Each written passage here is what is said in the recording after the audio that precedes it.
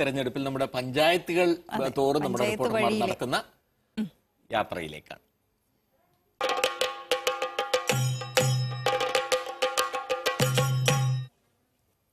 തിരുവനന്തപുരം കോർപ്പറേഷന്റെ കിഴക്കൻ അതിർ അവസാനിക്കുന്നത് കാച്ചാണി എന്ന മൂന്നും കൂടിയ കവലയിലാണ്.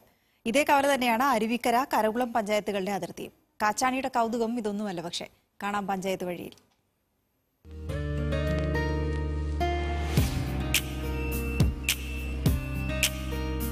കാച്ചാണി വാർഡിൽ എൽ ഡി എഫ് സ്ഥാനാർത്ഥി സഖാവ് പി ഉഷാകുമാരി. കാച്ചാണി വാർഡിലെ എൽ ഡി എഫ് സ്ഥാനാർത്ഥിയാണ്. അതാണ് നമ്മളിനി വീണ്ടും കാണാൻ പോകുന്നത്.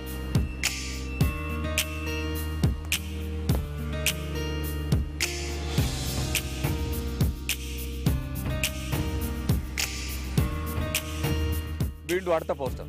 കാച്ചാണി വാർഡിൽ എൽ ഡി എഫ് സ്ഥാനാർത്ഥി സഖാവ് B Shaju.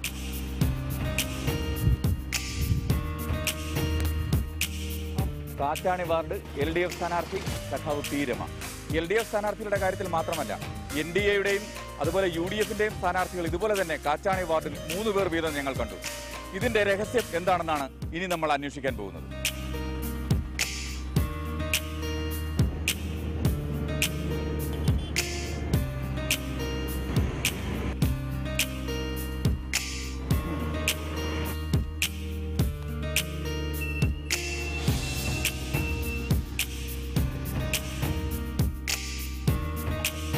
നമസ്കാരം.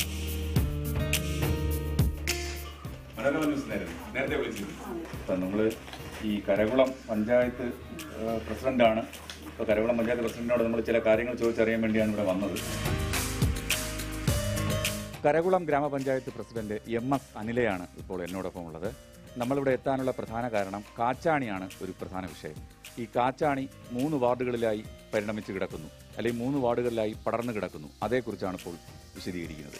അപ്പോൾ ഒരുപക്ഷെ നമ്മുടെ ഈ കേരളത്തിൽ തന്നെ ആദ്യമായിട്ടായിരിക്കും ഒരേ പേരിൽ മൂന്ന് തദ്ദേശ സ്ഥാപനങ്ങളിൽ വാർഡ് വരുന്നത്. എങ്ങനെയാണ് ആ ഒരു വാർഡ് വിഭജന സമയത്ത് എങ്ങനെയാണ് അത് സംഭവിച്ചത്? ശരിയാ ഈ പറഞ്ഞതിൽ ശരിക്കും യാഥാർത്ഥ്യമാണ്. എല്ലാവരെയും കൺഫ്യൂഷൻ ആക്കുന്ന രീതിയിൽ ഒരു ത്രിവേണി സംഗമം പോലെയാണ് കാച്ചാണി ജംഗ്ഷൻ ഇപ്പോഴും നിലകൊള്ളുന്നത്.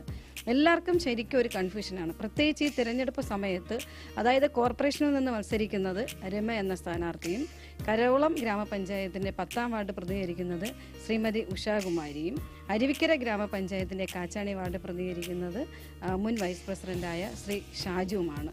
ഇതെല്ലാവർക്കും ഒരു അതിശയിപ്പിക്കുന്ന ഒരു കാഴ്ച തന്നെയാണ്. കേരളത്തിൽ ഒരിടത്തും ഒരു പക്ഷേ ഇങ്ങനെ ഒരു പേരിൽ മൂന്ന് തദ്ദേശ സ്വയംഭരണ സ്ഥാപനങ്ങളുടെയും അതിര് പങ്കിടുന്ന പുതിയ തിരുവനന്തപുരം കോർപ്പറേഷൻ നൂറ് വാർഡായപ്പോഴല്ലേ ഇങ്ങനെ സംഭവിച്ചത്? അതെ അതിനു മുമ്പ് രണ്ട് പഞ്ചായത്തുകളുണ്ടായിരുന്നു. ഉണ്ടായിരുന്നു ഇങ്ങനെ തന്നെയായിരുന്നു. കാച്ചാണി തന്നെയായിരുന്നു കോർപ്പറേഷനിലെ ഒരു വാർഡ് എന്ന് പറയുന്നത് കാച്ചാണി തന്നെയായിരുന്നു. നമ്മൾ പഞ്ചായത്ത് പ്രസിഡന്റ് ഇന്ന് കാച്ചാണി പുരാണമാണ് കേട്ടത്. വളരെ നന്ദി.